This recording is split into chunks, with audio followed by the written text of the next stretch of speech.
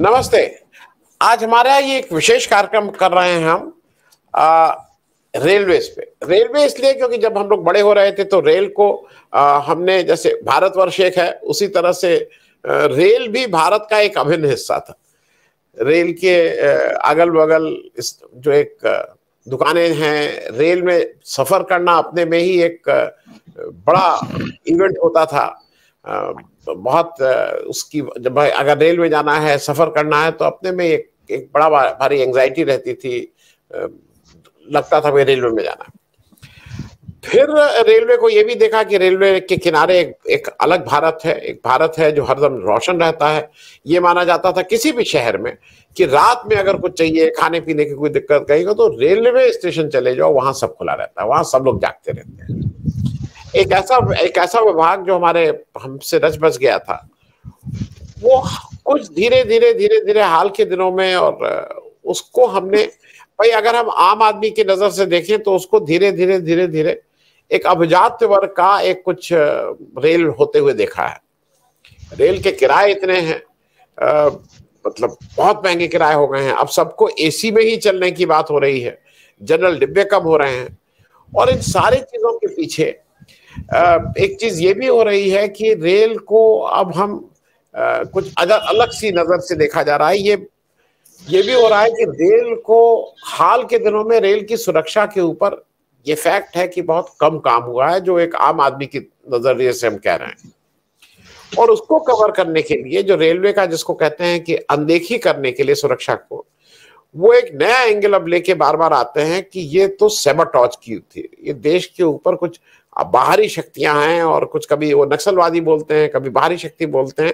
ये सब लोग देश को खराब को, कि जो चल रहा है देश, उसमें कुछ अवरोध पैदा करना चाहते हैं और इसलिए वो साहब रेलवे को सेबाटॉच कर रहे हैं। हाल के दिनों में सूरत में एक बड़ा अजीब सा मामला आया। रेलवे के ही तीन, जो रेलवे के ट्रैकमैन थे, उन्होंने ही फ़िश प्लेट लेट खोल के रख दी थी। और उन्होंने उनको ये था कि हमें दो चीज़ें कही गई कि एक तो उनको कोई इनाम मिलेगा और दूसरा उनका ये कहना था कि जब वो पकड़े गए कि हम नाइट शिफ्ट में रहते थे, अब नाइट शिफ्ट वाला हमारी पाली खत्म हो रही थी मतलब वो जो डेज़ थे खत्म हो रहे थे नाइट शिफ्ट के बाद अगले दिन आपको एक ऑफ़ मिलता है। तो वो साहब हम चाहते थे कि ये ऑफ़ ये नाइट शिफ्ट ही हमारी बनी रहे, ये सब भी कारण थे अलग अलग कारण थे। तो ये तो उनकी एडमिनिस्ट्रेटिव समस्या हो सकती है या कुछ भी। अब इसको सेबाटॉज का, हर चीज़ को सेबाटॉज का, बाहरी शक्तियों के हाथ इंटरनेशनल कॉन्स्परेसी सब देना। मैं, मेरे साथ अभी सुधांशु मणि साहब हैं। सुधांशु मणि साहब वंदे भारत के एक तरह के जिन्होंने रचयिता टी एटीन के नाम से ट्रेन बनाई आईसीएफ मद्रास में, अब तो वंदे भारत जगह जगह है। और दूसरे मेरे साथ वी के राय साहब हैं। मेरे, मैंने जिसको कहते हैं ना, मेरे गाँव के इस तरह से कि हम सब लोग गोरखपुर के हैं। राय साहब ने एक लंबा अनुभव है इनको। रेल को को कैसे चलाया जाता है, ये इंजीनियरिंग वाले हैं, साइड के हैं।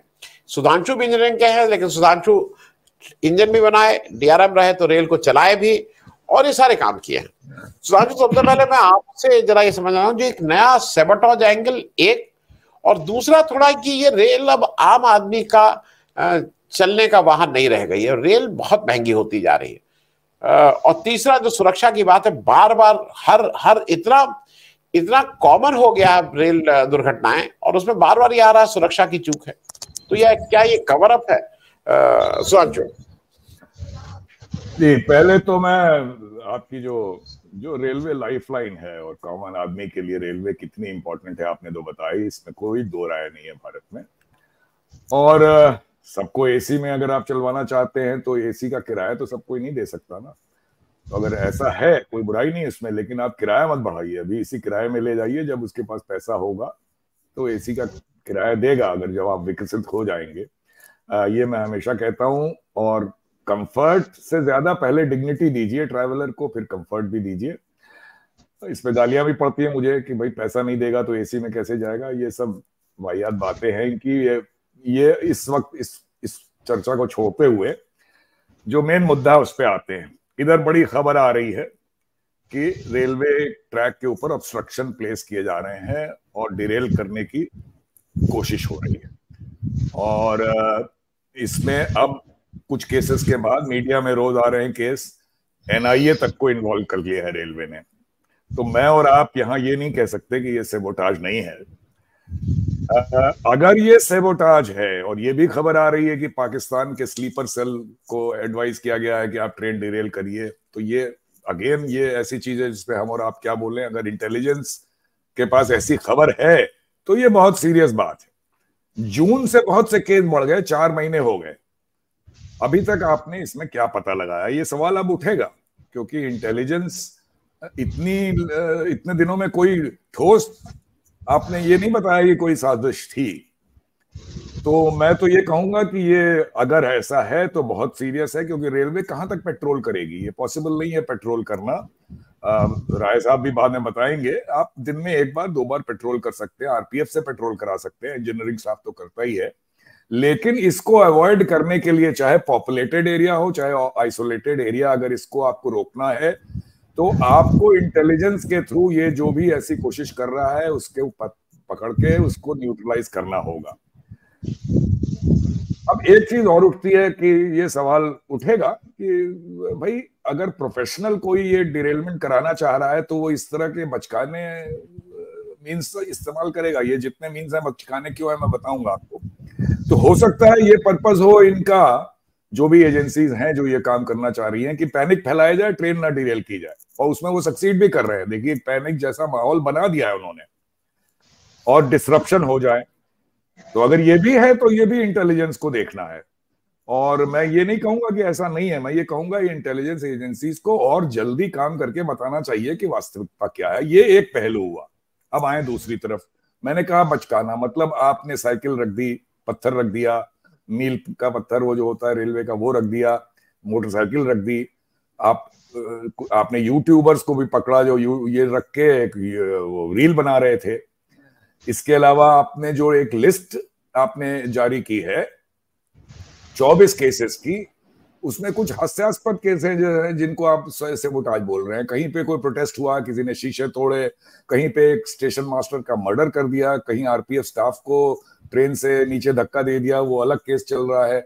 कहीं पे निहंग सरदारों ने लेवल क्रॉसिंग पे किसी को पीटा या आहत किया। तो ये सब चीज़ें आप सेवोटाज में क्यों डाल रहे हैं भाई? अगर आपको फोकस पता करना है तो रियली जो सेवोटाज हो सकता है, उसकी बात करिए। इससे ये दिखाता है कि कुछ भी आप केसेस इकट्ठा करके कहना चाह रहे हैं कि सेबोटाज हो रहा है। अब आप ऐसा क्यों करना चाह रहे हैं? अगर करना चाह रहे हैं आप। क्योंकि पब्लिक परसेप्शन में रेलवे एक्सीडेंट्स बहुत बढ़ गए हैं। देखिए, बालासोर का जब एक्सीडेंट हुआ, दो सौ बानवे लोग मारे गए उसमें। तब से ही एक डिस्कोर्स जब भी एक्सीडेंट होता है तो पहली खबर आती है कि चाहे सोशल मीडिया से आए या जैसे भी, कि भाई ये कुछ सेबोटाज सा लग रहा है। यहाँ तक कहा था बालासोर में कि वो एक बिल्डिंग दिखाई जा दे रही है, वो मस्जिद है और वहाँ जुमे की नमाज़ के बाद बात हुई कि ये किया जाए और चूँकि सात स्टाफ रेलवे के जो अल्टीमेटली इन्वॉल्व निकले अपनी केयरलेसनेस या मैनिपुलेशन के लिए, उनमें एक या दो मुसलमान भी थे। तो इस तरह की खबर फैलाने लगे आप। अभी गोंडा का एक केस आपको याद होगा। वहाँ पे ड्राइवर ने कह दिया कि मैं बड़ी ज़ोर से आवाज़ सुनाई दी तो किसी ने कह दिया, ये तो धमाका है। तो बहुत जल्दी डीजीपी डीजीपी नहीं, वहाँ पे जो भी आईजी या जो भी पुलिस ऑफिसर थे, उन्होंने कहा ऐसा नहीं हुआ। तो ये टेंडेंसी क्या है? ये टेंडेंसी इसका मतलब आपने सुरक्षा की बात की, मैं कहूँगा संरक्षा यानी सेफ्टी से आप नज़र हटा के सुरक्षा की तरफ़ ढकेलना चाहते हैं और आप एक तरह से आप अपना प्रियम्प्ट कर रहे हैं कि अगला कोई बड़ा एक्सीडेंट हो तो आप पहले ही, इससे पहले कि उसका कॉज पता लगे, आप ये कहने लगे कि भाई ये तो हम तो कह ही रहे थे कि इससे सेबोटाज हो रहा है। तो ये बहुत डेंजरस ट्रेंड है। इंटेलिजेंस एजेंसी अपना काम करें। पता करें कि भाई ये क्या हो रहा है, क्यों हो रहा है, कोई साजिश है या नहीं है। लेकिन रेलवे का काम है अपनी सेफ्टी पे ध्यान देना। आप उस, उसकी बात नहीं कर रहे हैं आप। तमाम मेजर्स हैं। कवच है आर्टिफिशियल इंटेलिजेंस का यूज़ है। ट्रैक के अपग्रेडेशन पे पैसा लगाने की बात है। पैसे लग, पैसों की कमी नहीं है। इतने पैसे आप रेलवे में लगा रहे हैं तो ये सेफ्टी में कितना पैसा जा रहा है। इन चीज़ों पे ध्यान दीजिए, वो ज़्यादा ज़रूरी है। तो अंत में मैं दो चीज़ कहूँगा कि भाई सेबोटाज अगर है तो अब पता करिए जल्दी बहुत दिन हो गए। और अगर नहीं है तब भी बहुत डेंजरस चीज़ है। इसका मतलब आप एक डाइवर्जने डाइवर्जनरी ट्रैक टैक्टिक्स लगा रहे हैं और रेलवे को एक ये ये दिखाने के लिए कि ये सब रेलवे का दोष नहीं है। ये तो भाई असामाजिक तत्व है या टेररिस्ट है वो ये काम कर रहे हैं। तो मैं कहूँगा कि ये दोनों ही चीज़ें सीरियस है और दोनों को उस हिसाब से देखना चाहिए। जी। मैं आप मैं एक मिनट और लूँगा। आपने देखिए आपने अभी केस जो गुजरात का बताया। इवन मुझे जब ये खबर आई तो मुझे सीरियस लगा कि भाई अभी तक तो ये बचकानी हरकत थी लेकिन ये तो इन्होंने फ़िश प्लेट ही निकाल के लगा दी है। ये तो कुछ मामला गड़बड़ लग रहा है। जब वो फ़ोटो आई मुझे भी ये लगा। एक कानपुर का केस था, सिलेंडर के साथ आपने कहा कुछ पेट्रोल मिल गया, पेट्रोल बॉम्ब टाइप का तो मुझे लगा कि भाई इसमें ये कहना कि ये साजिश नहीं है, डिरेल करने की कोशिश नहीं है तो ठीक नहीं होगा। अब देखिए, फ़िश प्लेट वाले केस में क्या निकला। जब आप इतना पैनिक फैलाएँगे तो उन्होंने, स्टाफ ने सोचा, चलो, हम भी इसमें हाथ धो लें, बहती गंगा में अवार्ड ले लें। तो ये सब देखिए, ये सब आपका किया हुआ है, आप इतना पैनिक फैला रहे हैं कि ये सब चीज़ें आ रही हैं। ये बहुत ही डेंजरस चीज़ है। इंटेलिजेंस एजेंसीज अपना काम करें आप अपनी सेफ्टी पे ध्यान दीजिए आप यहाँ डाइवर्ट मत करिए चीज़ों को। जी जी। मैं राय साहब आपके पास आने से पहले दर्शकों को एक चीज़ और बता दूँ। अश्वनी वैष्णो जी का मतलब ना कोई रेलवे का एक्स एक्स उनके पास कोई इस तरह का अनुभव है? ना वो कोई जीत के आए हैं कि लोकसभा जीत के आए हो? लोगों के साथ रहे हो या ट्रेड यूनियन वाले व्यक्ति हो, वो शुद्ध कॉर्पोरेट सेक्टर से आए हैं, शुद्ध कॉर्पोरेट सेक्टर से आए हैं। और अभी उनको मिनिस्टर ऑफ़ रेलवेज हैं minister of information and broadcasting है and minister of electronic and information technology तीन उनको बहुत भारी भरकम विभाग दिए गए हैं। मैं सिर्फ़ दर्शकों को इसलिए बता रहा हूँ कि मिनिस्टर ऑफ़ रेलवेज के पास इतना काम होता है कि वो एक नहीं, उसके साथ दो उसके स्टेट मिनिस्टर होते हैं और उन लोग के पास फिर भी काम खत्म नहीं होने वाला है। मैंने देखा है जॉर्ज फर्नांडिस साहब मंत्री रहे हैं या कोई भी रहे हैं, नीतीश कुमार रहे इन लोगों के पास फुर्सत नहीं होती है। तीन तीन विभाग अगर आप दे रहे हैं तो इसका मतलब रेलवे की अहमियत को आप कहीं ना कहीं मानना है कि इसकी बहुत ऐसा है, ठीक है, चलता है। तीन मंत्रालय में ये भी दे दो। राय साहब, आपने एक बहुत लंबे समय तक यांत्रिक में काम किया, डिप्टी चीफ इंजीनियर होकर आप रिटायर हुए एनईआर से। आपको कभी ऐसा एक भी इंसिडेंट याद है कि जब रेलवे वाले ने अपने ही घर में सेबोटॉज करने की कोशिश की हो? ये क्यों हुआ है? भाई, ये इंपॉर्टेंट है। और दूसरा, इतने ज़्यादा एक्सीडेंट कैसे? अब तो बहुत से, अब तो कम्युनिकेशन अच्छा हो गया है, हर चीज़ में ज़्यादा बेहतर हो गया है। सिग्नल अब मुझे मालूम नहीं सिग्नलिंग टेक्नोलॉजी पहले से बेटर हुई है या जो भी हुआ। एकदम से बाढ़ क्यों आ गई है? ये जो एक्सीडेंट हो रहे हैं पिछले, और खास करके पिछले एक डेढ़ साल में। राय साहब। सर, इस मामले में मैं ये आपको थोड़ा सा बताना चाहता हूँ कि रेलवे वाले कभी ये नहीं चाहते हैं कि वो अपने घर के अंदर कोई सेबोटेज का काम करें। लेकिन रेलवे में एक्सीडेंट्स के मामले में दो चीज़ें बड़ी महत्वपूर्ण है। एक तो बड़ा सीवियर पनिशमेंट है उसमें डिपार्टमेंटल कभी भी एक्सीडेंट होता है तो उसमें जो जाँच में रिपोर्टें आती हैं, उसमें अधिकतर लोग रिमूव हो जाते हैं और जिनको पनिशमेंट भी मिलता है, उनको बहुत सीवियर पनिशमेंट मिलता है। तो प्राय एक्सीडेंट के बाद लोग यही प्रयास करते हैं कि इस ज़िम्मेदारी को किसी दूसरे के सर पे डाल दिया जाए, ताकि सबसे आसान तरीका है कि साहब इसमें सेबोटेज हुआ तोड़ फोड़ हुई और रेलवे वालों का कोई हाथ नहीं है। तो इसलिए ये सेबोटेज का जो ये जो जो प्लान है जो आ, तरीका है वो लोग अपनाते हैं। दूसरा रह गया कि सेबोटेज के बाद जो डिपार्टमेंटल है तो डिपार्टमेंटल में जब जाँच में जब ये बातें आती हैं कि भाई इस वजह से हुआ चाहे ह्यूमन फेलोर हुआ चाहे टेक्निकल फेलोर हुआ तो डिपार्टमेंट के ऊपर बड़ा एक्शन होता है। तो सेफ्टी के मामले में रेलवे बहुत पहले से बहुत कॉन्शस है। और संरक्षा के मामले में रेलवे कभी कोई ढील नहीं देती है। और इसके उपाय भी बड़े फुल प्रूफ हैं। इसके उपाय इतने फुल प्रूफ हैं कि छोटी मोटी गलतियों से बड़ी दुर्घटनाएँ नहीं हो पाती हैं। आपको मैं बताऊँ कि रेलवे के ट्रैक में अगर स्लीपर के लगातार चार पाँच छह स्लीपरों में भी अगर पेंड्रोल क्लिप्स न रहें तो भी ट्रैक पर दुर्घटनाएँ नहीं हो पाती हैं। इसलिए कि स्लीपर इतना मज़बूत है और उसके ऊपर सिक्सटी के की रेल है तो दो चार स्लीपरों में पेट्रोल क्लिप्स नहीं रहने पर भी वो गाड़ी का डिरेलमेंट का कोई चांस उसमें बन नहीं पाता। और थोड़ी सी असुविधा पेट्रोल क्लिप्स की चोरी का मामला है। कुछ इलाके ऐसे हैं जो प्रोन हैं चोरी के लिए तो वहाँ पेट्रोलिंग बढ़ा दी जानी चाहिए। दिन की पेट्रोलिंग के लिए पेडोलवाई स्वयं अपने करीब 40 किलोमीटर में सेक्शन में प्रतिदिन एक तरफ़ जाता है। हर दूसरे, तीसरे दिन वो अपने 40 किलोमीटर का सेक्शन पूरा कर लेता है। और प्रतिदिन नाइट को भी बरसात के महीनों में या और जब कभी किसी प्रकार की कोई चांसेस होते हैं, कोई तूफ़ान वगैरह का वो रहता है ऐसी परिस्थितियों में नाइट पेट्रोलिंग वहाँ प्रोवाइड की जाती है। तो नाइट पेट्रोलिंग में भी की मैन की ड्यूटी लगती है, वो टार्च ले करके और रात को जाता है। ऐसी परिस्थिति में पेट्रोलिंग का तो आइडिया बहुत पुराना है और बहुत ही परफेक्ट है। आजकल स्टाफ की कमी के वजह से पीडब्ल्यूआई भी वो पेट्रोलिंग में हिला हवाली करते हैं, नहीं प्रोवाइड कर पाते हैं। दूसरा ये कि स्टाफ की कमी की वजह से ये जो और जो काम उनके जो जो डिपार्टमेंटल है वो नहीं हो पा रहे हैं, वो संविदा पर लोगों को लगा रहे हैं। संविदा वाले की कोई ज़िम्मेदारी नहीं है ट्रैक सेफ्टी की। वो संरक्षा से संबंधित कोई बात जानता भी कम है और उसके प्रति, उन कामों के प्रति उसकी कोई रुचि भी नहीं है।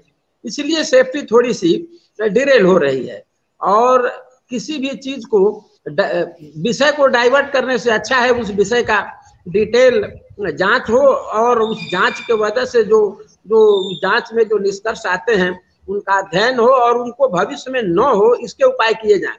तो आजकल रेलवे में तो ऐसा लग नहीं रहा। हर आदमी चाहता है कि भाई मेरे डिपार्टमेंट की बदनामी ना हो, गाड़ी चलती रहे। तो गाड़ी तो चलती रहेगी, यूँ भी ना कुछ मेंटेन हो तो भी छह महीना साल भर चलती रहेगी, लेकिन किसी न किसी दिन तो डिरेलमेंट होना ही है। जब ट्रैक की का मेंटेनेंस नहीं होगा, इंजन का, बोगियों का मेंटेनेंस नहीं होगा तो किसी न किसी दिन तो ये बातें आनी है। इसीलिए इतना बड़ा मेंटेनेंस का डिपार्टमेंट बनाया गया मैकेनिकल का। वर्कशॉप बने बड़े बड़े ट्रैक डिपो बने पिडोलवाई को उसकी जिम्मेदारियाँ दी गई।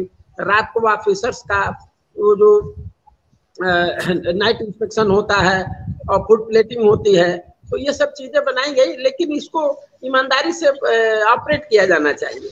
तो ये काम जो है थोड़ा सा इसमें अब ढिलाई आ गई है रेलवे में। मैं आपको बताऊँ कि एक बार मैं डिप्टी चीफ इंजीनियर था तो बदायूं के पास एक कचला ब्रिज है तो उसमें गंगा पर पुल बनना था। तो उसके गार्डर्स बंद करके आए थे आरकोनम से, मद्रास के पास से सदर्न रेलवे से। तो बंद करके आए तो वहाँ पर जो डिप्टी चीफ इंजीनियर थे ब्रिज के, उनसे वो काम नहीं हुआ तो लोगों ने हम ही को लगा दिया तो हमने कहा अच्छा ठीक है। मैं जाके इंस्पेक्शन किया तो इंस्पेक्शन ने पता चला कि साहब जो गर्डर बन के आए हैं, वही सही नहीं है। उनके होल्स अलग अलग हैं, गड़बड़ हैं और मिसमैचिंग है। तो फिर हमने कहा कि भाई, ये सारे गर्डर्स को स्क्रैप करना पड़ेगा। और फाइनली उसमें बड़ा हंगामा हुआ आरडीएसओ ने इंस्पेक्ट किया, रेलवे बोर्ड ने इंस्पेक्ट किया। फिर हमारे यहाँ के तत्कालीन जीएम श्री के कटल साहब थे, उनका इंस्पेक्शन हुआ। तो उन्होंने हमसे साइड पर पूछा कि भाई, पुराने वाले गडर से बना देने में क्या है? हमने कहा सब बात यह है कि 10-20 साल तो चल तो जाएगा 10-15 साल। लेकिन जिस दिन कोई बड़ा हादसा होगा, आपकी भी बदनामी होगी, हमारी भी बदनामी होगी। बेहतर है, बीस करोड़ का नुकसान है, आप इसको स्क्रैप कर दीजिए, नया गडर मंगाइए और ठीक रहेगा। फिर वो बात मान गए, सारे गडर स्क्रैप हो गए, नया गडर बन के आया और उसी सामने पुल बनाया। यह है सेफ्टी का मामला, सर। सेफ्टी के मामले में पैसे का महत्व नहीं होना चाहिए। तो इस तरह से अच्छा इसी सेफ्टी को लेकर के नीतीश कुमार साहब जब रेल मंत्री थे तो उन्होंने सारे पुलों को बनाने के लिए एक, अलग से S R S F fund बनाया था। शायद उस समय हमारे डीआरएम साहब मणि साहब मणि जी उसमें कहे डीआरएम या जीएम रहे होंगे। एस आर एस एफ़ का फंड क्रिएट हुआ स्पेशल रेलवे सेफ्टी फंड तो उस फंडों से जो पुराने पुल थे, वो सारे पुलों का रिमॉडलिंग हुआ, नए पुल बनाए गए तो संरक्षा तो बड़ी, बहुत ही महत्वपूर्ण चीज़ है। और इसको, इसका किसी भी तरह से, चाहे मानसिक रूप से या फ़िज़िकल रूप से, इसका इग्नोरेंस तो बड़ा, बड़े खराब परिणाम देगा। इसलिए संरक्षा के मामले में रेलवे को चाहिए कि फुल प्रूफ एक्टिविटी करे, इसमें लोगों को लगावे। सिर्फ़ टेबल में, एसी कमरे में टेबल पर बैठ करके बात करने से संरक्षा का काम नहीं होगा। संरक्षा के लिए तो मेहनत करनी पड़ेगी नीचे से लेकर ऊपर तक। यही हमारा कहना है सच मामले जी जी जी मैं फिर से एक बार आऊँगा आप जरा बने रहिए। सुभाष चौधरी साहब आप आरपीएफ आप सुभाष चौधरी साहब रिटायर हो गए हैं आरपीएफ में बहुत लंबे समय तक काम किए। सुभाष चौधरी साहब एक चीज़ ये भी है कि जो कहा जा रहा है ना कि इंस्पेक्शन बढ़ा दीजिए उस पर निगरानी रखिए गश्त जारी रखिए। आरपीएफ का जो मेरे पास जो खबर है उसके अनुसार आरपीएफ की संख्या घटी है पहले से। आ, लेकिन काम भी बढ़ गया है।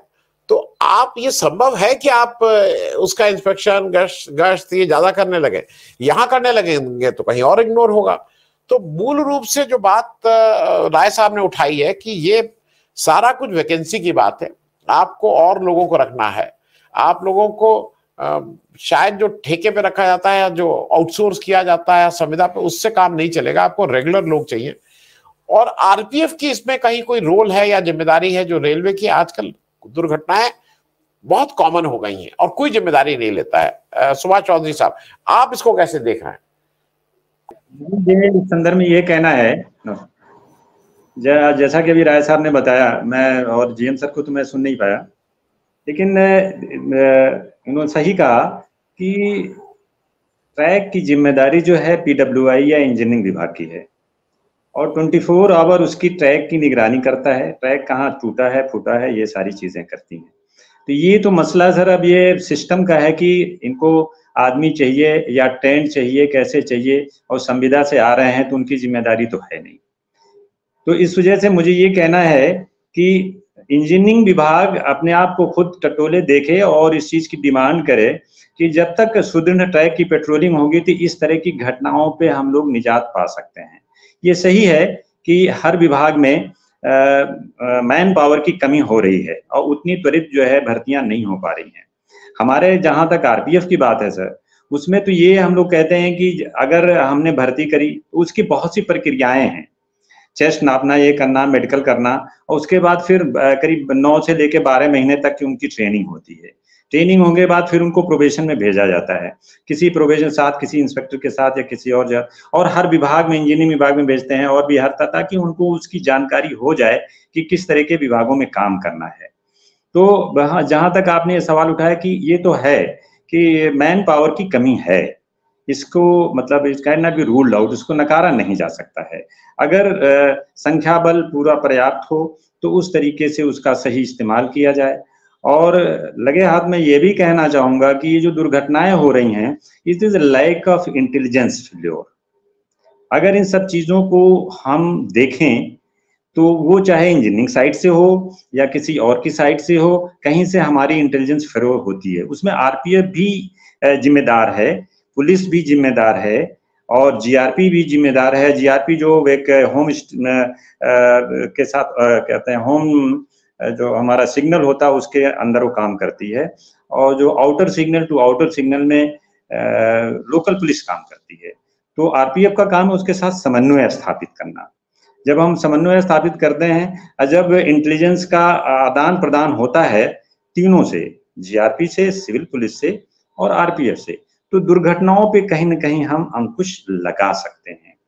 तो इसमें हमको एक बेहतर ट्रेनिंग और लोगों में समन्वय जिसको मैंने कहा coordination between the two two forces three forces हो जाते हैं जीआरपी आरपीएफ और सिविल पुलिस को स्थापित करना होगा। और साथ ही साथ सिविल जो इंजीनियरिंग से भी हमारा स्थापित करना बहुत ज़रूरी हो जाता है। मुझे स्वाज एक छोटा सा प्रश्न। पहले मैं इसलिए पूछ ले रहा हूँ कि ये जो समन्वय था, क्या पहले बेहतर था? अब खराब हो गया है या कम हो गया क्योंकि एक्सीडेंट क्यों एकदम से बढ़ गए हैं? भाई रेल चलती ही थी इतने एक्सीडेंट नहीं होते थे। ठीक है कभी कभार होते थे लेकिन ऐसा ये तो बाढ़ आई हुई है एक्सीडेंट्स की। सुभाष जी बहुत संक्षेप में। संक्षेप में बता पहले हम लोगों के टाइम में हम लोग काफ़ी समन्वय करते थे आरपीएफ जेआरपीएफ और जो भी सिविल पुलिस के ऑफिसर्स के साथ समन्वय मीटिंग करते थे जाते थे मिलते थे और अपनी चीज़ों को प्रस्तुत करते थे। तो उससे कोऑर्डिनेशन बना रहता था जिससे कि उसमें दुर्घटनाएँ इन सारी चीज़ों पर नहीं हो पाती थी। प्रयास तो हर जगह होता था। छोटी मोटी घटनाएँ स्टोन पेल्टिंग ये करना, वो करना तो कहीं कहीं करते थे। उसके ऊपर भी हम लोग जा जा करके गाँव में अवेयरनेस प्रोग्राम चलाते थे या नहीं होता तो उनको अरेस्ट करते थे। जब हो जाता फिर उनको जेल भेजते, जो भी कानूनी प्रक्रियाएँ करते थे। लेकिन अभी कुछ ये जो देखने में जो विगत एक महीने से दिखाई पड़ रहा है, सुनाई पड़ रहा है कि ये कहीं ना कहीं लैक ऑफ़ कोऑर्डिनेशन हमारा है। That too you cannot be ruled out अच्छा ठीक है ठीक है। मेरे साथ हरभजन सिंह सिद्धू साहब जुड़ गए हैं। हरभजन सिंह साहब बहुत सीनियर और देश के सबसे बड़े ट्रेड यूनियन को और उसमें उसमें रेलवे भी एक है के के जनरल सेक्रेटरी मैं सिद्धू साहब, सीधे सीधे आपसे इसलिए आ रहा हूँ क्योंकि मेरे इससे पहले सुधांशु जी थे। हम लोग कई महीने, दो चार, एक दो महीने पहले जब एक एक्सीडेंट हुआ तो हम लोग बात भी किए थे। सुधांशु जी का कहना ये मानना है सिद्धू साहब कि रेलवे में जो कुछ रनिंग स्टाफ है, जैसे वो कहते हैं loco pilot guard gateman keyman trackman station master इसमें ज़ीरो टॉलरेंस है। इसमें अगर आप वैकेंसी रखेंगे तो कहीं ना कहीं दुर्घटना होगी। इनका तो ये तक मानना है कि अगर जीएम साहब और सीआरबी भी अगर रेलवे में एक आध दिन नहीं आते हैं तो कोई फ़र्क नहीं पड़ता है। रेलवे अपने आप लेकिन अगर लोको पायलट के में दिक्कत होती है तो वो ज़ीरो टॉलरेंस है। लोको पायलट के साथ पीडब्ल्यू के साथ आप नहीं कर सकते, और हमारे इस समय खूब वैकेंसीज है।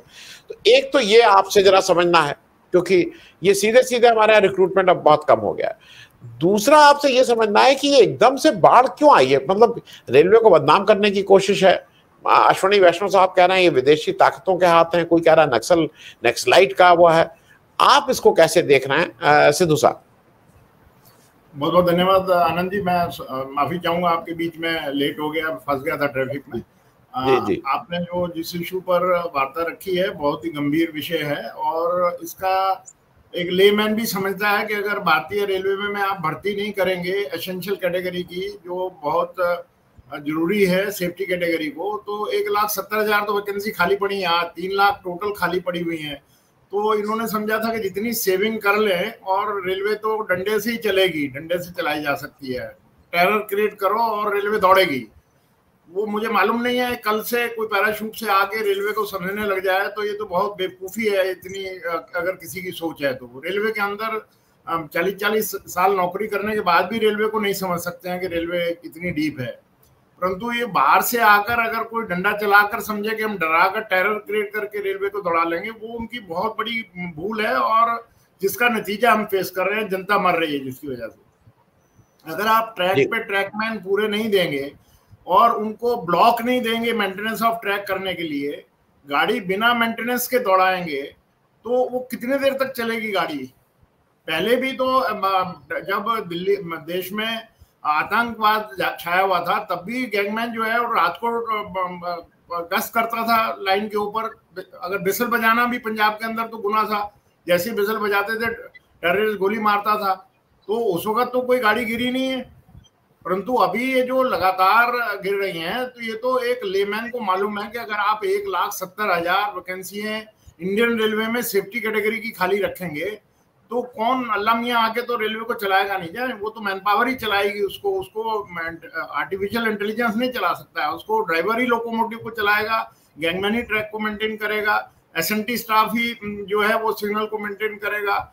तो ऑपरेटिंग स्टाफ अगर आप दिल्ली से अमृतसर वाला सेक्शन देखें तो एएसएम जो है, वो आठ घंटे नौकरी है उसकी, जिसकी मैं समझता हूँ पैनल पे छह घंटे नौकरी होनी चाहिए। वो पानी चाय भी नहीं पी सकता है। उसके ऊपर इतना ज़बरदस्त लोड है कि वो आदमी रोटी भी डब्बा आता है वापस ले जाता है घर पे खाना भी नहीं खा सकता है। तो आप इतने टेंशन में किसी से काम लेंगे और रिक्रूटमेंट में आप बंद रखेंगे रिक्रूटमेंट को तो ये तो आप इनवाइट कर रहे हैं खुद एक्सीडेंट को जो है। तो लिहाजा मेरे हिसाब से पहले कभी रात में ट्रैक मेंटेनेंस के लिए ब्लॉक दिया करते थे अभी तो ऑपरेटिंग स्टाफ चाहता है कि मेरी गाड़ी नहीं रुकनी चाहिए, उसका व्हील जो है दौड़ना ही चाहिए। 98 परसेंट नाइन्टी परसेंट पंक्चुअलिटी मेरी होनी चाहिए। परंतु अगर उस गाड़ी को दौड़ाने पर ट्रैक की मेंटेनेंस नहीं होगी ड्राइवर का लोको ड्राइवर का ध्यान नहीं होगा, वैसे टेम्परेचर हमारे इंडिया में अगर सैंतालीस डिग्री टेम्परेचर है तो उसके कैब में वो 52 डिग्री के करीब टेम्परेचर हो जाता है। और वो इस इतने बड़े तंदूर के अंदर बैठकर 500 किलोमीटर तक येलो और ग्रीन करता हुआ दौड़ता है, अमृतसर जाता हुआ, उसने सिर्फ़ लोको नहीं चलाना है। उसने सिग्नल को एक्सचेंज करना है, उसने गेटमैन से सिग्नल एक्सचेंज करना है, उसने स्टेशन मास्टर से सिग्नल एक्सचेंज करना है। तो आप अगर ड्राइवर की नौकरी को लोग बाग मज़ाक समझे बैठे हैं तो इतने टेंशन में अगर ड्राइवर काम करेगा और फिर कहेंगे कि भी कोई एक्सीडेंट नहीं होना चाहिए कब से सुन रहे हैं कि भी हम एक्सीडेंट फ्री जोन बनाएँगे उसके लिए कहाँ से फंड अलॉट करें ना? ये सुनते सुनते तो हमारे को तीस साल हो गए। आज तक तो कहीं लगा नहीं, फिर कहने लगे, वो बहुत कॉस्टली है। अगर लगाएँगे तो चोरी हो जाएगी। ये तो एक अजीब सा लॉजिक है कि भाई वो इंस्ट्रूमेंट ही चोरी करके कोई ले जाएगा। तो फिर तो रेलवे ही चोरी करके ले जाएगा, कोई रेलवे नहीं चलेगी। अगर आप प्राइवेटाइजेशन पर आपने धंधा बना रखा है कि हमने बिल्कुल चीप लोएस्ट रेट पे काम कराना है तो एसेंशियल सर्विसेज़ भारतीय रेलवे इस तरीके से नहीं चलने वाली है। ये, ये हम तो जानते हैं बाकी जो आए हैं पैराशूट से उनको शायद समझते होंगे कि शायद रेलवे बहुत ही जैसे ट्रक और कार चलाते हैं वैसे ही चलती है रेलवे अगर पच्चीस हज़ार गाड़ी को चलाना है और ढाई करोड़ देश की जनता को ट्रेवल कराना है गाड़ी में बैठा ही रहे वो और उसकी सारी सुख सुविधाओं का ख्याल रखना है तो आपको जो उसकी सुख सुविधाएँ ख्याल रखता है, उसको सेफली एक स्टेशन से दूसरे स्टेशन पर पहुंचाता है, उसकी क्या ज़रूरत है? ग्राउंड लेवल पे आके देखें ना एसी में बैठने से तो काम नहीं चलेगा ना। ग्राउंड पे आके देखें कि भी गैंगमैन जो ट्रैक को मेंटेन करता है, उसके लिए ब्लॉक नहीं है। रनिंग ट्रेन में वो उसको मेंटेन करेगा तो आपका महीने में 20 गैंगमैन मर जाएँगे। इतना इतना डेथ ऑन ड्यूटी वर्ल्ड में कहीं पर नहीं है, जो हमारे इंडियन रेलवे में गैंगमैन जो शहीद हो रहा है। उस तरफ़ तो कोई ध्यान दे नहीं रहा है। तो लिहाजा जो चीज़ें रियलिटी है ग्राउंड लेवल पर, उसको कुछ सुनना ही नहीं चाहेगा। एक्सीडेंट हो जाएगा तो ये दिखाया जाएगा कि ये ये तो देशद्रोही आ गए और ये किसी ने सेबोटेज कर दिया। रेलवे कर्मचारी अपने माँ समझता है इंडियन रेलवे को, जिससे रोजी रोटी मिलती है, वो कभी भी कतई नहीं चाहेगा कि रेलवे के अंदर किसी तरीके का कोई सेबोटेज कर जाए। रेलवे एम्प्लॉय नहीं करने देगा कभी सेबोटेज तो लिहाजा ये गलतियाँ, जिनकी गलतियाँ वो सुन नहीं रहे, क्योंकि वो बहुत पावर में है, जो कह देंगे उसको मानना पड़ेगा। ऑफिसर हमारे टेरराइज कर रखे हैं कर्मचारी सारे टेरराइज किए हुए हैं जो बोले उसको अपना सस्पेंड कर दो या ट्रांसफ़र कर दो। तो इस तरीके से ज़्यादा देर तक वर्ल्ड का सबसे जो बड़ा बिगेस्ट ऑर्गेनाइजेशन है इंडियन रेलवे वो बहुत सेंसिटिव एरिया है। इसको लापरवाही से नहीं चलाया जा सकता है। पार्लियामेंट पे बाहर इधर उधर बयान देने से नहीं चलेगा। इसकी ग्राउंड रियलिटी पे जाना पड़ेगा इनको। मेरे हिसाब से तो मेरा तजर्बा तो यही है। जी। मैं सिद्धू साहब, एक चीज़ और जरा आपसे पूछ लूँ, और क्योंकि आप यूनियन के हैं, आपको इसको जवाब देने में कोई दिक्कत नहीं, बाकी ये सब लोग रेलवे के लोग हैं, शायद इनको थोड़ा उतना उतना एक्सपोजर नहीं हो, मैं ये कह रहा हूँ। मैं इसलिए पूछ रहा हूँ, राहुल गांधी एक दिन लोको पायलट के शेड में चले गए दिल्ली में, और उसके बाद ये बात निकल के आई कि भाई करीब अठारह, बीस बीस, बाईस परसेंट लोको पायलट्स की कमी है। फिर ये भी बात निकल के आई कि लोको पायलट्स को बेसिक सुविधा जो अपना नित्य कर्म है, वॉशरूम तक नहीं है डीजल आपके जो इंजन है। लेकिन फिर ये कहा गया कि नहीं नहीं नहीं, ये तो दिल्ली के लोग नहीं थे, ये तो जो लोको पायलट थे, ये किसी कहाँ के, साउथ के, किसी उसके थे वहाँ। अरे भाई, दिल्ली क्यों, चाहे बंबई क्यों, चाहे वो कहीं क्यों, ये मुद्दा ठीक है कि नहीं है, ये जरा समझने की बात थी। और राहुल गांधी ने कहा वो ठीक है, बहुत वो खराब आदमी है, राहुल गांधी, उनको नहीं करना चाहिए था। लेकिन मैं आपसे समझना चाह रहा हूँ जो मुद्दे उठाए थे उन लोको पायलट्स ने कि भाई हमारी कमी है हमारी बेसिक सुविधाएँ नहीं है बहुत लंबा वो कितना उचित था या अनुचित था? सिद्धू साहब। देखिए आनंद जी राहुल गांधी के कौन एडवाइजर है कौन एडवाइजर नहीं है मैं उसके ऊपर नहीं जाऊँगा क्योंकि उनको मालूम ही नहीं है कि इंडियन रेलवे क्या चीज़ है। सिर्फ़ आदमी आप एक शो अरेंज करके कैमरे के साथ लाकर लोगों को ये दिखाएँ कि you are the only person to take care of the Indian railway वो एक दिन में बता नहीं सकते, ना समझ सकते हैं इंडियन रेलवे को। तो लिहाजा जो दो फेडरेशन रिकॉग्नाइज्ड है इंडियन रेलवे के, जो रेगुलर उनका चैनल है थ्री टायर सिस्टम उनके पास है, उनके एजेंडे तो कोई देखे ना जी। हम कौन से दिन ऐसा गया होगा जिसमें हम लिख के नहीं दे रहे स्टेशन मास्टर में इतनी वैकेंसी खाली पड़ी है पॉइंट्समैन में इतनी वैकेंसी खाली पड़ी है स्टेशन मास्टर में इतनी वैकेंसी खाली पड़ी है लोको ड्राइवर पंद्रह साल में तैयार होता है, तब जाकर वो ट्रेन को चलाता है। अगर उनकी वैकेंसी भरने में आप समझेंगे कि सेविंग हो रही है पर मंथ उनकी सैलरी को बचाकर, ये तो बहुत बड़ा मज़ाक है। ये सेबोटेज इस तरीके से हो रहा है इस रेलवे को।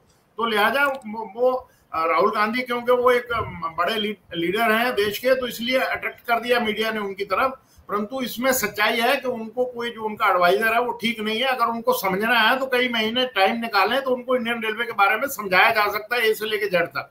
तो लिहाजा मैं उनके उनके वहाँ जाकर और वो एक तरीके का जो इलेक्शन है इलेक्शन स्टंट है वो उस तरीके का वो करते हैं गैंगमैनों से मिल लिए उसको मिल लिए इसको मिल लिए उससे मिलने से उनको ट्रेनिंग का इसका रेलवे का ज्ञान नहीं आएगा उनको। वो ठीक है अपनी दिखाने के लिए ज़रूर कह रहे हैं कि भाई मैं पार्लियामेंट में बोलने से पहले ग्राउंड पे जाता हूँ उसकी रियलिटी को समझता हूँ। वो वो ठीक है वो एक दिल्ली में मीटिंग थी लोको रनिंग स्टाफ एसोसिएशन की जो एक पर्टिकुलर कुछ चंद ड्राइवरों को रिप्रेजेंट करते हैं परंतु दो फेडरेशन जो पिछले सौ साल से ज़्यादा ऑल इंडिया रेलवे फेडरेशन उन्नीस चौबीस से रिप्रेजेंट कर रहा है इंडियन रेलवे को, अंग्रेज़ों के जमाने से अभी तक। परंतु उनके एजेंडे उठा के तो देखे ना जी। अगर रिक्रूटमेंट तो आप रिक्रूटमेंट पे बैन है न्यू क्रिएशन पर। हमारे यहाँ पर general manager cannot create a single post of the station master station master बन जाएगा without matching saving he cannot create a post of the station master और आप वैकेंसियाँ खाली रखेंगे, आप तीन परसेंट सालाना सरेंडर करेंगे ऑफिसर इतनी टेंशन में है, अगर वो तीन परसेंट पोस्ट सरेंडर नहीं करेंगे तो उनके एडवांस सीआर में रिमार्क्स आएगा। अगर तीन परसेंट सरेंडर करेंगे तो उनको रेलवे वीक में अवार्ड दिया जाएगा कि is one of the best officer जो हमारे ऑर्डरों को ओबे कर रहे हैं। तो इस तरीके से इंडियन रेलवे तो नहीं चलेगा। ना ये प्राइवेटाइजेशन में नहीं चलेगा इंडियन रेलवे इसको गवर्नमेंट को सीरियसली सोचना ही पड़ेगा। मैं, मेरा अपना एक्सपीरियंस मैं साढ़े बयालीस साल रेलवे में नौकरी की है। मैं प्रेसिडेंट नॉर्दर्न रेलवे में सालों साल रहा हूँ। तो लिहाजा मैं अभी ऑल इंडिया का जनरल सेक्रेटरी हूँ मजदूर सभा का। मैं देश के कम से कम 2800 बड़े फेडरेशनों को रिप्रेजेंट करता हूँ। तो ये ऑलरेडी हर फ़ील्ड पे हम बता रहे हैं, परंतु पूरी गवर्नमेंट ऑफ़ इंडिया के अंदर 40 परसेंट ऑन रोल स्टाफ है गवर्नमेंट सेक्टर में। क्योंकि इन्होंने सोच रखा है कि इसको डिसबैंड करना है और इसको हम प्राइवेट हाथों में दे देंगे। आप पार्लियामेंट के अंदर सारा काम जो है लिफ्टमैन कॉन्ट्रैक्ट पे है, सफ़ाई वाला कॉन्ट्रैक्ट पे है कैटरिंग वाला कॉन्ट्रैक्ट पे है, जहाँ पर प्राइम मिनिस्टर और सारे मिनिस्टर बैठते हैं, उनके नीचे सारा हमला प्राइवेटाइज कर दिया है इन्होंने। तो लिहाजा प्राइवेटाइज करने से ये समझ रहे हैं कि शायद सेविंग हो जाएगी और रेलवे चलेगी। ये बिल्कुल पॉसिबल नहीं है। इनके लिए अप्रोप्रिएट फंड देना पड़ेगा। वैकेंसी इनको अपडेट करनी पड़ेगी। ट्रेनिंग जो है वो ट्रेनिंग के लिए इनके पास आदमी ट्रेनिंग रिज़र्व ही नहीं है। ये ट्रेनिंग पे भेज ही नहीं सकते हैं। अगर भेजेंगे तो नीचे ड्यूटी कौन करेगा स्टेशन मास्टर अपनी ड्यूटी के ऊपर? तो इनके ऊपर जैसे लीव रिज़र्व होता है, वैसे ट्रेनिंग रिज़र्व भी होता है। तो ट्रेनिंग पूरी प्रॉपर जो है वो रिव्यू भी होनी चाहिए। नई कोई टेक्निक आई है तो उसका भी उसको ट्रेनिंग मिलनी चाहिए।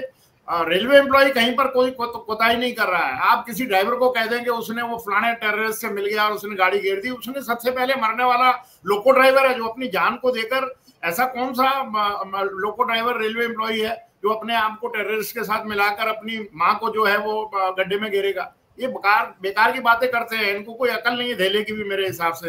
और ये रहने लायक भी नहीं है ऐसी पोस्टों पर जो ऐसी बकवास करते हैं। जी जी। मैं आपके चैनल से साफ़ कहना चाहता हूँ। जी जी सिद्धू साहब मैं सुधांशु एक चीज़ जरा समझ लू आपसे। ये जो एक जनरल नैरेटिव और एक बनाया जाता, मैं भी पब्लिक सेक्टर में काम किया हूँ, आपने भी सरकारी, ये सब हम लोग सरकारी कि प्राइवेटाइजेशन आ जाए will ensure quality will ensure safety will ensure everything will ensure पैसा उसमें कम लगता है और वो लोग बड़ा अच्छे ढंग से काम करते हैं कॉम्पिटेंट जाता है। जबकि मेरा अपना मत यह है कि सारे, आप किसी भी पब्लिक सेक्टर को आँख बंद करके उठा लीजिए, उसके लोगों का प्रोडक्ट प्रोडक्टिविटी लेवल ज़्यादा होता है। ज़्यादा कॉम्पिटेंट हैं ज़्यादा टाइम देते हैं। और अगर देखिए तो they are lowly paid as compare to private मैं इस पे जरा एक आपका क्योंकि ये जो अंधी दौड़ शुरू हो गई सब प्राइवेटाइज कर दो रेलवे में स्टेशन भेज दो वो भेज दो क्या क्या भेज दो।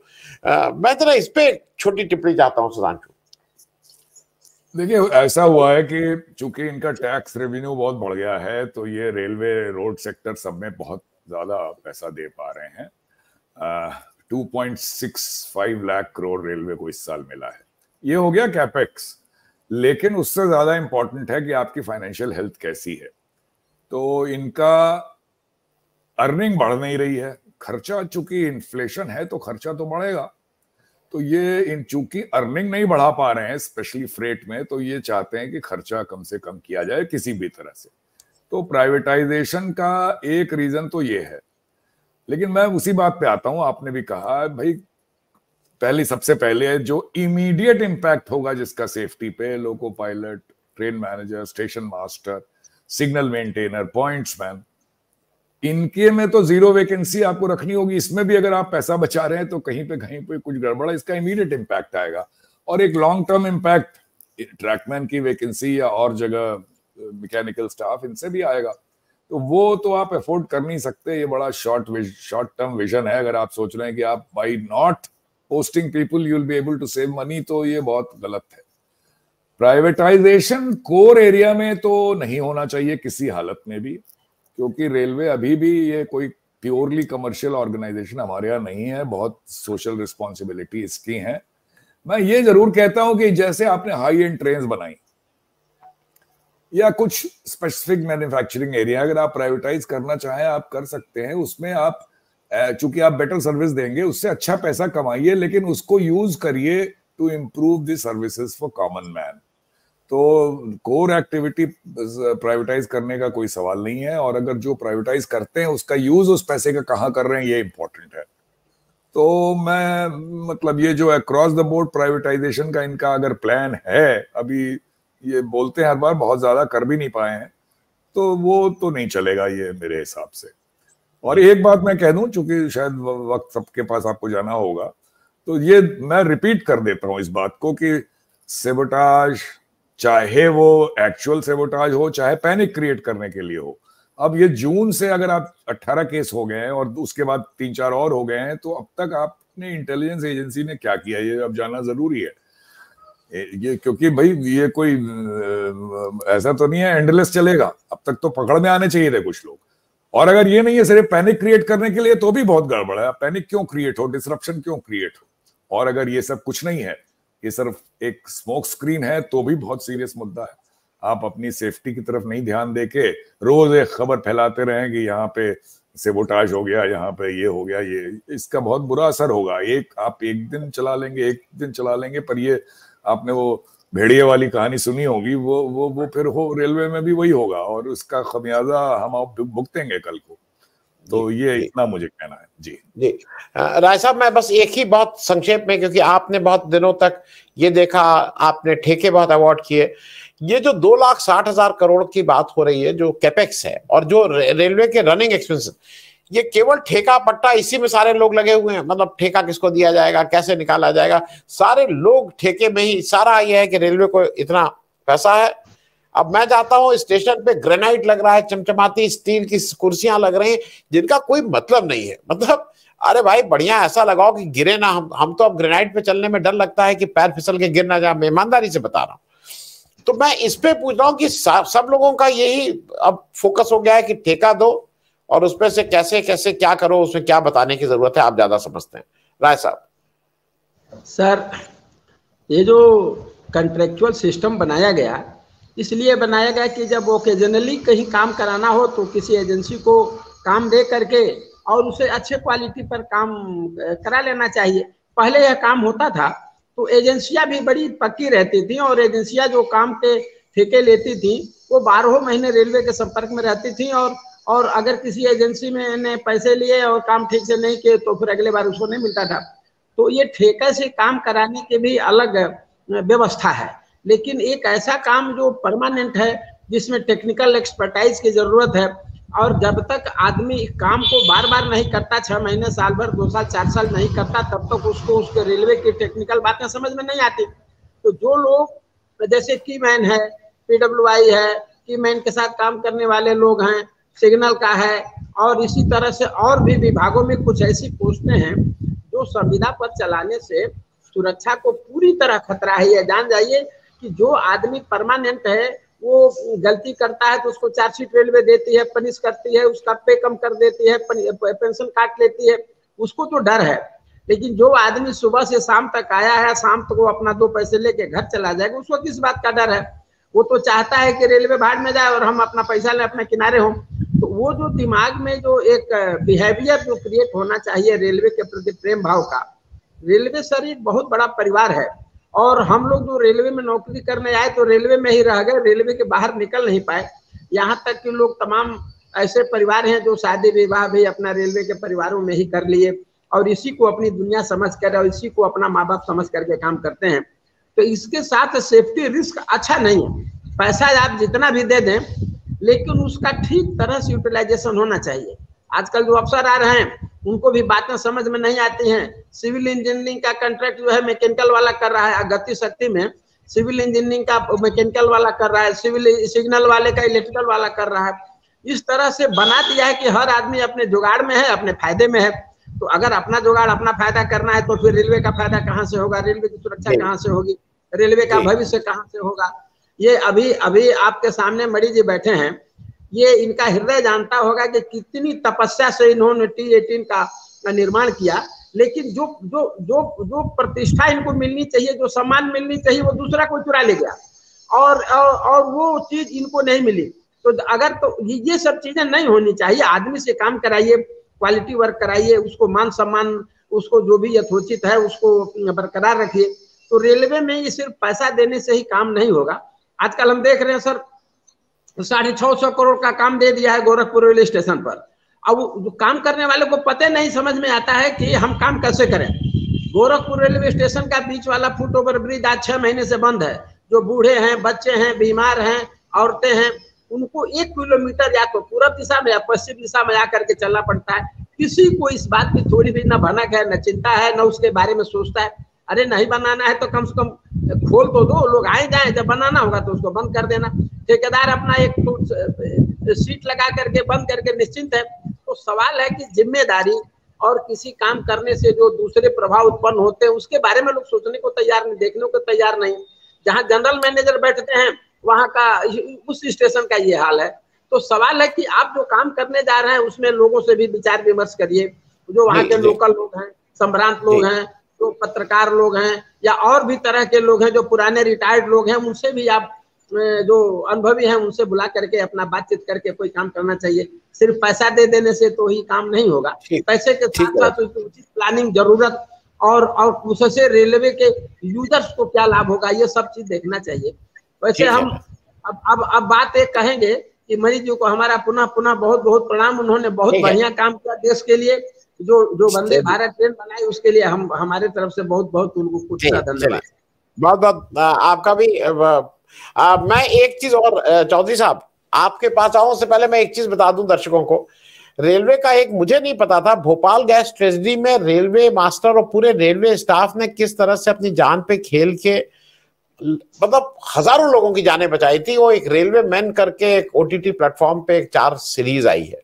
बहुत ही अच्छी। मतलब मुझे ये नहीं पता था लोग बताते हैं कि नहीं उस तरह का हुआ था। रेलवे के लोगों ने अपनी जान की परवाह ना करते हुए उस भोपाल में एक बड़े हा, हादसा तो हो गया था लेकिन एक बड़ी जनसंख्या ऐसी थी जिसको उन्होंने बचाने का काम किया था। वहाँ से निकाला था ट्रेन आई थी। खैर चौधरी साहब आपको क्या लगता है कि ये समय ऐसा आ गया जो ये बार बार इंटेलिजेंस क्योंकि ये जो अगर ये कह रहे हैं समटो तो आरपीएफ जीआरपीएफ और लोकल पुलिस के रोल को भी रीडिफाइन करने का समय है? या जैसे चल रहा है वैसी सब ठीक है। बहुत संक्षेप में चौधरी साहब, खत्म करना है। करना होगा ये जो आपने कहा, मैं उसे समझ हूँ एक बार इसको रीडिफाइन करना पड़ेगा कि हमारी इंटेलिजेंस का फेल्योर का कारण क्या है, कहाँ हम फेल्योर हो रहे हैं। क्योंकि कोई भी घटना बिना इंटेलिजेंस फेल्योर के होती नहीं है। तो कहीं ना कहीं लैक तो है, या लैक ऑफ़ ट्रेनिंग है, या लैक ऑफ़ म्यूचुअल अंडरस्टैंडिंग है। ये सारी चीज़ें मैं तो उस नज़रिए से देखता हूँ आपराधिक नज़रिए से इसको देखना चाहूँगा। और कैसे हो रहा कैसे? लेकिन इसमें हंड्रेड परसेंट मैं ये अपने तजुर्बे और दावे के साथ कह सकता हूँ कि यहाँ पे लैक ऑफ़ इंटेलिजेंस फेल्योर ही हो तो अगर ये जिस चीज़ को अगर खत्म कर दिया जाए तो लैक किसी भी घटना को या तो prevention is better than cure वाली बात है।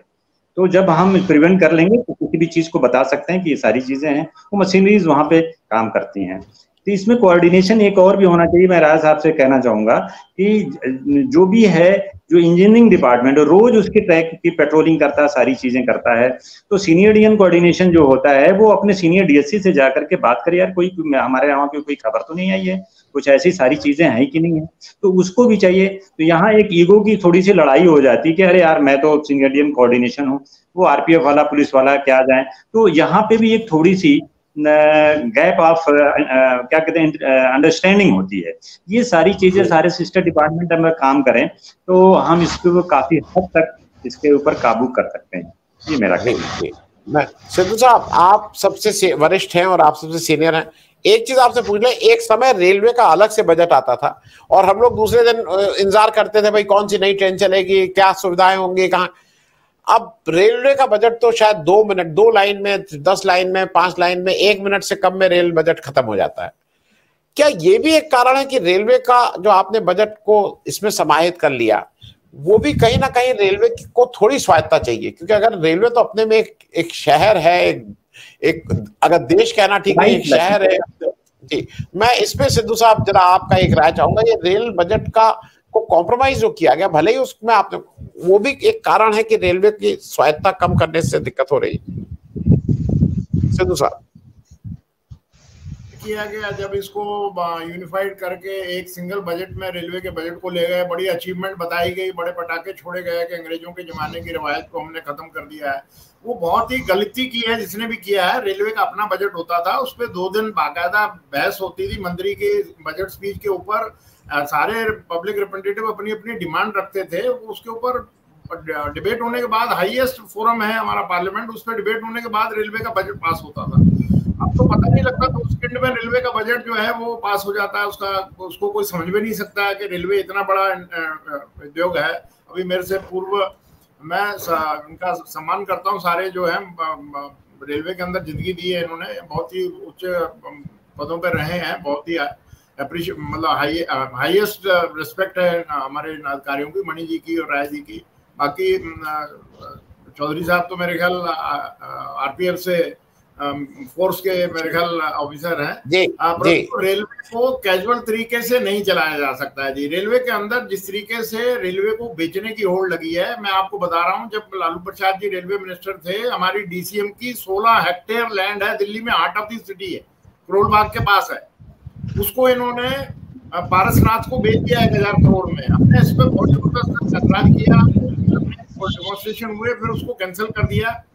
दोबारा रिटेंडर हुआ, वो फिर पारसनाथ 1600 करोड़ में ले गया। और बाद में पारसनाथ अरेस्ट हो गया, वो जेल चला गया। वो कॉलोनी आज तक खंडर पड़ी है 16 हेक्टेयर लैंड जिसको के लिए बना दिए थे कि दो एकड़ में डबल रूम सेट फ्लैट आपको मिलेगा। तो इस तरीके से अगर रेलवे को बेचकर पैसा कमाने की बात होगी तो फिर आप कहेंगे कि एक्सीडेंट हो रहा है, या पुराना हो रहा है। ये तो नासमझी वाली बातें हैं, मेरे हिसाब से तो है। इसमें हमारे रेलवे ऑफिसर जो यंग एज में आकर मैकेनिकल ऑफिसर आता है इलेक्ट्रिकल ऑफिसर आता है सिग्नल ऑफिसर आता है वो 40 साल रेलवे में नौकरी करने के बाद जो जो चीज़ें उनको एक्सपीरियंस है, वो बताते हैं। परंतु उनको आगे बाहर का आदमी ऊपर से पैराशूट से आकर बताने लगे कि भी मैं एक्सपर्ट हूँ। तो रेलवे चलाने के लिए आगे आने वाले समय में बहुत मुश्किल हो जाएगी। पहला ऐसा समय भी हमने देखा है कि हमारे रेलवे मिनिस्टर एक एक्सीडेंट पे रिजाइन कर दिया करते थे। आज तो 24 एक्सीडेंट हो चुके हैं अभी पीछे में, और उसमें वो समझते हैं कि बहुत बड़ी तारीफ़ है कि मेरे सत्ताई रखी है तो मतलब ये एक्सीडेंट हो रहे हैं। तो ये रेलवे को चलाने के लिए दोबारा से इनको इसके ऊपर मंथन करना पड़ेगा और मेरे हिसाब से लोएस्ट एल एल वन पे कॉन्ट्रैक्ट देकर काम कराने से क्वालिटी ऑफ़ वर्क नहीं आएगा प्रोडक्शन पूरा नहीं होगा। लिहाजा उसका जो एक्चुअल में जो चीज़ें कॉन्ट्रैक्ट पे नहीं जानी चाहिए, उनको नहीं जाने चाहिए, उसके ऊपर बहस होनी चाहिए। तो मेरा तो यही कहना है कि ये रेलवे को इतना बड़ा ऑर्गेनाइजेशन आपको कहीं पर दूसरे देशों में भी देखने को नहीं मिलेगा, जहाँ पर ढाई करोड़ पब्लिक 24 घंटे बैठी रहती है भारतीय रेलवे के अंदर। मनी जी ने तो वंदे भारत, अब वंदे भारत तो दूसरों को दे दिया चलाने के लिए। वो जी को, अमेरिकन कंपनी को एक हज़ार लोकोमोटिव बनाने का कॉन्ट्रैक्ट दे दिया। आ जाओ, बिहार में ज़मीन खाली पड़ी है, सस्ते में दे देंगे आपको, पानी, बिजली सस्ते में मिलेगी। चीप लेबर एंगेज कर लोगे तो आप लोकोमोटिव बना दोगे हमारे देश को रेलवे को चलाने के लिए। तो लिहाजा जो हमारा चितरंजन लोकोमोटिव वर्कशॉप है वो बंद कर दो उसको। वहाँ पर आप कॉन्फिडेंशियल रिस्ट्रिक्शन लगा दो कि आप इससे इतने जिससे ज़्यादा आप लोकोमोटिव नहीं बना सकते हैं। तो अगर आप मेड इन इंडिया को खत्म करके मेक इन इंडिया करेंगे और उसके लिए तो भुगतान करना ही पड़ेगा। देश को भुगतान करना पड़ेगा और पब्लिक मर रही है उसके उसके लिए जो है। गलतियाँ कोई कर रहा है और उसकी रिस्पॉन्सिबिलिटी रेलवे एम्प्लॉय को फिक्स कर रहे हैं और जनता उसकी जान जा रही है। मेरा तो ये कहना है कि बहुत नासमझी हो रही है जो कुछ भी हो रहा है। जी। सिद्धू साहब मैं खत्म कर देता, लेकिन आपने एक ऐसी दुखती रख छेड़ दी है सुधांशु मणि जी की तो वो बस इनको दो मिनट में एक बात कर दूँ कि वो उनकी दुखती रख है। इनका एक बहुत मतलब जब व्यक्तिगत बातचीत होती रहती है तो इसमें ये इंडियन कोच फैक्ट्री जो मद्रास चेन्नई वाली है, उससे बहुत सा ऑर्डर लेके किसी दूसरे पब्लिक सेक्टर को दिया जा रहा है बीएमएल या जिनको जिनका ये काम नहीं है। मैं बहुत संक्षेप में सुधांशु कहूँगा कि क्या हो रहा है, जरा मैं समझ लू, और दर्शक भी समझ लें, सिद्धू साहब भी समझ लें कि क्या हुआ है। नहीं इस बारे में मैंने लिखा भी था, ये भारत में कोच बनाने की तीन फैक्ट्रीज हैं, भारतीय रेलवे की आरसीएफ एमसीएफ आईसीएफ आईसीएफ सबसे पुरानी है, आप तो कह सकते हैं कि फाउंटेन हेड है। इसके अलावा मेट्रो कोच बनाने की दो तीन फैक्ट्री हैं, एक पीएमएल है, दो प्राइवेट सेक्टर में है, वो बाहर से डिज़ाइन लेके उसको बनाती हैं। अब एक फीलिंग है कि ये जो बीएमएल की शायद क्वालिटी ऑफ़ मैन्युफैक्चर आईसीएफ से थोड़ी बेटर है, हो सकती है, मैं उस डिबेट में नहीं जाऊँगा। लेकिन जो फाउंटेन हेड है, जो वेल स्प्रिंग है, जो एक्सपर्टीज है, वो सारी इंटीग्रल कोच फैक्ट्री में रिसाइड करती है और उसी एक्सपर्टीज स्टाफ की, इंजीनियर्स की यूज़ करके वंदे भारत बनाई गई थी। किसी एक आदमी का कोई कमाल नहीं था इसमें। और वो एक प्राइड और पैशन के साथ काम हुआ था। वो रेलवे के जो कर्मचारी थे, वहाँ पे उनके प्राइड और पैशन का था। आज आपने वंदे भारत तो जहाँ लॉन्च होती है तो बड़े फ़ैन फेयर के साथ प्रधानमंत्री खुद लॉन्च करते हैं, चलिए अच्छी बात है। लेकिन अब जब अगली एक स्लीपर वर्जन बनाने की बात आई, और एक 250 किलोमीटर की वो जो शायद अहमदाबाद, मुंबई में चलाएँगे तो ये बड़ा नेचुरल है कि ये काम आईसीएफ को दिया जाए। लेकिन किन्हीं कारणों से ये काम बीएमएल को दिया जा रहा है? भारतीय रेलवे ने ये काम अपनी फैक्ट्री से उठा के बीएमएल को देने का फैसला किया है, जो मेरी समझ के बाहर है। और कोई भी अपना, इस तरह की बात है कि आप अपने घर का फैमिली सिल्वर बेच दें। और ये कोई बात नहीं मानी जाएगी कि वो पीएसयू है, वो पीएसयू हो या ना हो। और उसके पीछे कितना प्रोक्योरमेंट प्राइवेट सेक्टर से होगा, वो सब में मैं नहीं जाऊँगा। लेकिन आप अपनी एक्सपर्टीज उठा के आपने एक बाहरी फैक्ट्री को दे दिया। रेलवे के लिए तो बाहरी हुई। ये एक मेरी समझ से बाहर है और दुखती रख तो है ही। जी। आ, आप सबका बातचीत करने के लिए बहुत बहुत धन्यवाद। और उम्मीद यह है कि वो छुक छुक रेल जो है वो शायद फिर से छुक छुक होके अपनी पटरी पे दौड़े।